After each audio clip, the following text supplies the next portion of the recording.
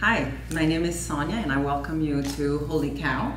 Um, we're going to go through a series of poses today, uh, yin poses, that target the muscles or the parts of the body primarily involved with running exercise. So props that could be useful today are two blocks and a blanket. And we're going to start in a comfortable kneeling position. So the first prop, again, the blanket could be very useful. You can use it under your knees.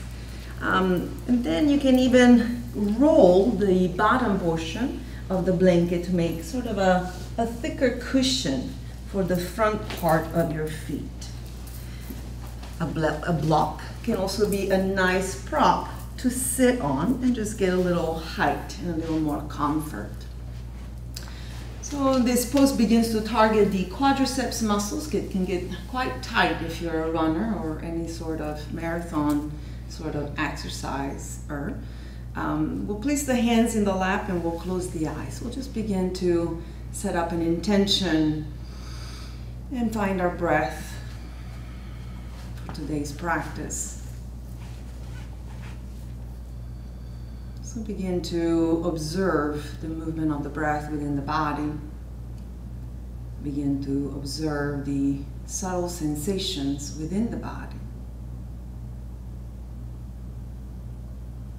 Then as you practice this, even from your home, just acknowledge anything that might feel a little too intense or a little too strong for today, not for yesterday, but for today. So feel free to adjust as well as to come out of a pose earlier than I invite you to. So we'll be here just for a few moments. Allow yourselves, even here, to keep your eyes closed. Observe your heartbeat.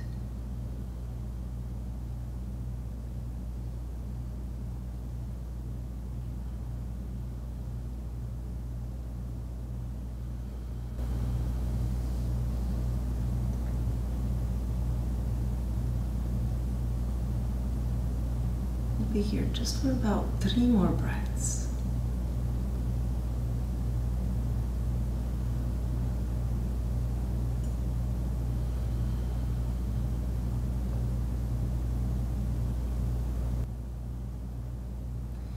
So on your next inhalation, gently open the eyes. Then we'll come onto our hands and knees for a moment, maybe wiggling the hips from side to side. Um, or finding some gentle movement with the spine, maybe arching the spine up towards the ceiling and down towards the ground. Again, finding some organic, natural movements for your body.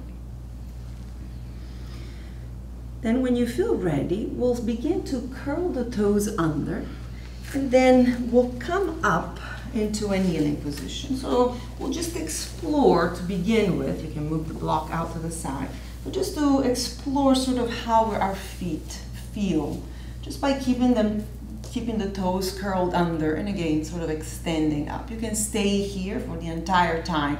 This begins to stretch the plantar fascia that can get quite tight for runners and walkers alike, but really for a lot of people. And so you can stay here. However, you can also begin to come down onto your heels. And then don't cheat yourself. So just go ahead and reach with your hands to make sure that all your toes, even the little baby toes, are curled under. So this is one of those poses they practice in the torture chambers. very good for you. so just explore self-torture.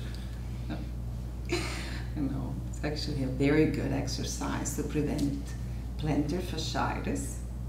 But just like I said at the beginning, observe what your mind is experiencing, what your body is experiencing. Dull ache and sensations are totally acceptable, but anytime you feel sort of a screaming pain or uh, sort of um, electrical sort of pain, those are subtle, not quite so subtle actually, messages from your body to change something. So let's just take about three more breaths right here.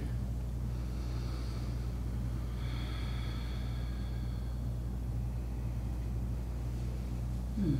Then on your next inhalation, we'll just begin to walk the hands forward very gently, uncurling the toes. Maybe tapping the toes on the ground, a little gently or a little more strongly. Now we'll do one more torture-like exercise. so we'll sit back onto our heels. At this point, the toes are uncurled. And we'll just begin to walk the hands behind us. So you'll begin to balance onto the front of your ankles. This can be quite a juicy stretch for the ankles and the shins alike. Again, parts of the body deeply involved in exercise. So you can keep the hands there, or you might like to bring the hands onto the knees. So this is called ankle stretch, quite obvious. it's a nice ankle stretch. Won't be here super long, but just, just allow even here the eyes to be closed and the, the breath to move gently through the body as a, as a way to observe sensations. Maybe take one more breath. And then on the next inhalation, we'll come back onto our hands and knees. Feel free at this stage to wiggle the hips from side to side, arch the spine, or maybe simply extend one leg behind you at a time, pressing back through the heel Mm. there are no right or wrong poses here at this point. It's more about creating or moving energy back in the body and the legs. You can keep the eyes closed throughout the whole practice if you like, if you're not afraid of falling. Nobody should be hitting you, so it should be all good, even with the eyes closed. So when you feel ready, come back onto the hands and knees and then step the right foot forward now having the blanket behind or under your knee can be quite nice. Again, we're still cushioning the knees. And we'll just prepare the blocks on either side of that front foot.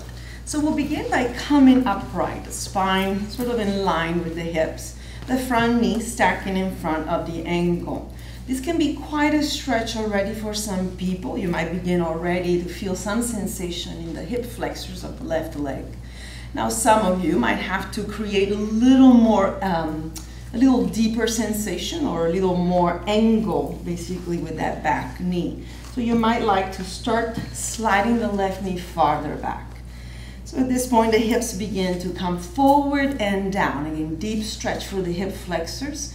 Um, you can stay or we can add two variations to this dragon pose. One is to actually bring the right foot behind the knee. Okay? So in coming forward, you start getting a big stretch in the back of your ankle, the Achilles tendon, as well as the calf. Again, parts of the body that get very tense with running. You can stay upright, you can bring the hands on the blocks. You can stay here for the whole length of the pose, or you can eventually, possibly, and a little more of a quadricep stretch by bending the left knee and reaching back with the left hand for the foot or ankle. Now that gets really juicy. Not quite torturous like our toe stretch, but that's also up for interpretation. Yeah? So wherever you are, I invite you to close the eyes. Yeah? And so in yin, we're not quite flowing, we're not quite moving, we're not quite easily distracted. We're sort of forced to stay and observe. And so it becomes quite, a, quite an experience can begin to observe our reaction to uncomfortable situations.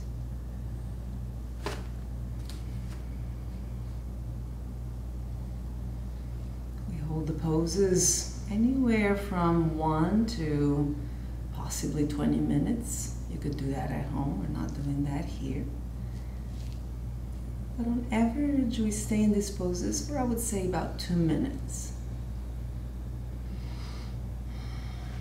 Also gives you an opportunity to maybe roll a little bit to one side or the other, although it's hard if you're taking a hold of that back foot. if you're in a more stable position, maybe just a little rolling of that left femur bone to the right or to the left.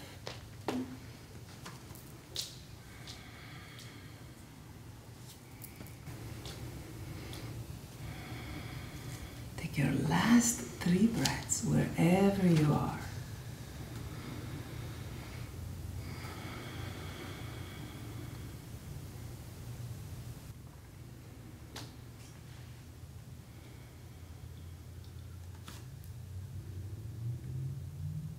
Mm, your next exhalation, begin to release the back foot if you had it bent. And then bring the hands to the blocks or to the floor and with a lot of love and compassion, just press into the hands and shift the hips back. It might feel quite nice to fold over the front leg. Hmm. Take just one or two breaths here. On the next inhalation, we'll bend the front knee. So move the props out to the side, place the hands to the floor, come back onto hands and knees. Again, no right or wrong pose, but a little movement might feel nice. Maybe downward facing dog, uh, maybe a little rocking from side to side of the hips. Maybe a simple child pose. Hmm. And then whenever you feel ready, we'll come back on hands and knees. And then we'll explore the second side. So we'll step the left foot forward. Same option here of bringing the blocks to either side of that front foot and supporting the back knee with a blanket. We'll start with an upright spine, choosing to stay or to slide that right knee a little farther back just to begin to sense something in the hip flexors of that right leg. You can then choose to maybe bring the left foot farther back and press the knee forward if you like that calf Achilles tendon stretch. Then I invite you to hold off on the um, on the back foot for just a couple of breaths. Just get yourself situated, get yourself stable. And then only when only when you feel ready, maybe bend that back knee and take a hold of the foot or ankle. And then wherever you are, if you feel quite stable, just feel free to close the eyes. So the goal of yin is to invite you to soften the muscles, soften the tension in the body, and have these stretches work on the deeper tissues connective tissue, fascia, ligaments, tendons. We're just applying a little stress. We're using gravity to do its work. And even here, notice, notice the reaction, notice your tendencies.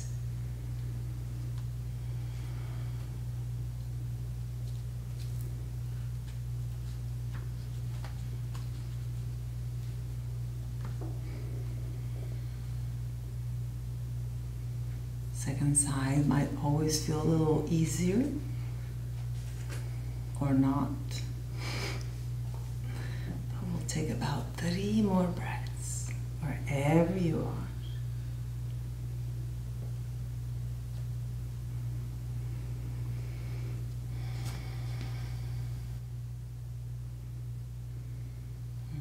next exhalation, begin to release the back foot. And just like we did before, we'll bring the hands to the blocks or the floor.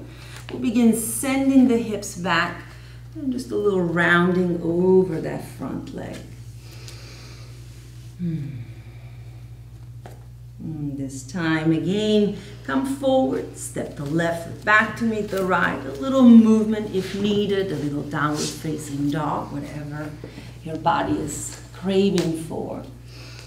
But at some point, we'll come back onto our hands and knees. We'll remove the blanket if you have one there. And we'll slowly sit onto the heels. We'll shift the hips to the side and send the legs out in front of us. So the last pose we're going to use today is a hamstring stretch, and we'll find three simple variations for this. Feel free to have a blanket wedged under your sitting bones.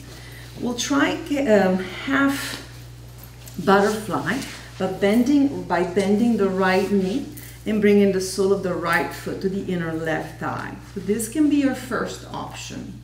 The second option is that of bringing the right, I'm sorry, the right foot to the outside of the left hip and the third option is actually to bend the right knee and bringing it behind you. In all three of these variations, you'll simply walk the hands forward and begin to fold over the left leg. So we're inviting a stretch now in the hamstrings area of your left leg. And those three variations might either, might either increase the sensation, might deepen the sensations, or ease those sensations. What you're looking for is, uh, is an edge, is again some something, you want to experience something, but you don't want that sensation to be injurious. So anytime you find yourself going 100% into the pose, you might be uh, risking injury, so we're not we're not getting there. It's not our goal.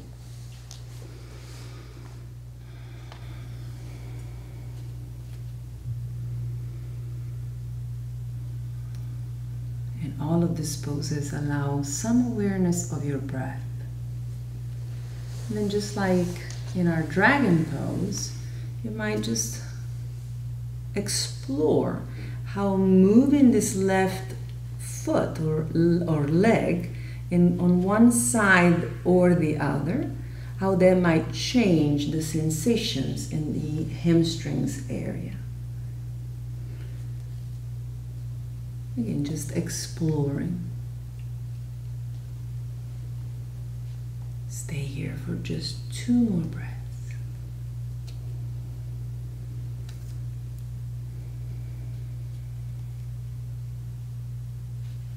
At the end of that second breath, bring the hands to the floor and slowly pressing yourselves up. You'll gently take that back foot, extend the right leg out in front of you. Maybe give your legs a little shake. And again, any movement you're craving at this point, try that or honor that. We'll now try the other side. So we'll bend the left knee, bring the left foot to the inside of the right thigh. That's our first option, half butterfly. The second option is crossing the left leg over the right in a half shoelace. And the third option is our half frog variation with the left foot behind the thigh. Again, simple options. You can stay upright if you're already feeling enough of a, of a hamstring stretch, or you can begin to fold over that front leg.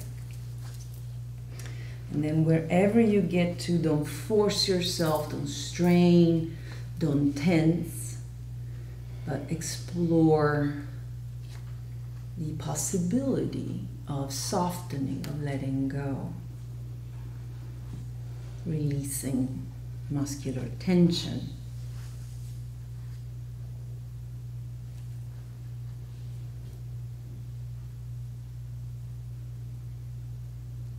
Observe the different sensations between this side and the other side.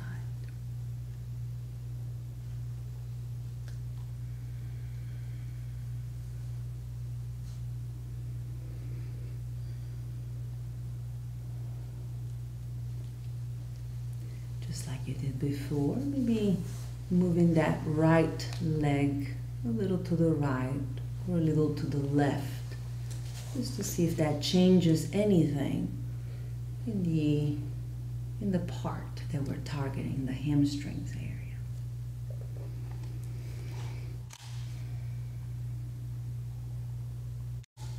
And then just take your last three breaths here.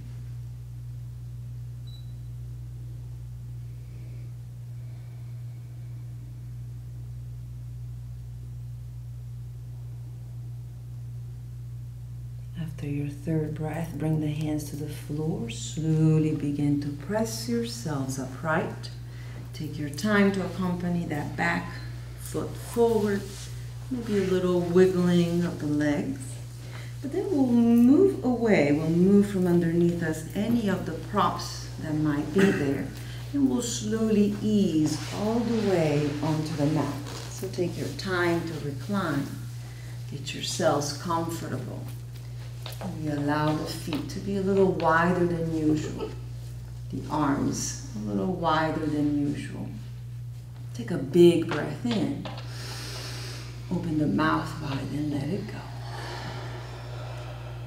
And for a few moments, just allow yourselves to feel grounded, supported, and easeful.